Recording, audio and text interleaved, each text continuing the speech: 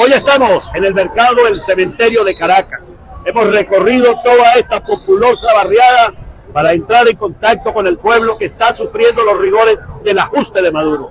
Maduro le ha aplicado un plan de ajuste al salario que tiene pasando hambre a toda la comunidad. Aquí están los trabajadores de la economía informal, aquí están los comerciantes y están los compradores sintiendo el rigor del hambre, de la miseria, de la corrupción, la matraca y la represión del gobierno de Maduro. Por eso nosotros hoy nos hemos comprometido con esta comunidad a hacer un cambio profundo de la economía para que Venezuela vuelva a tener empleo de calidad, créditos productivos y que toda esta gente pueda trabajar y vivir dignamente en su país. Vamos a cambiar, saquemos a Maduro.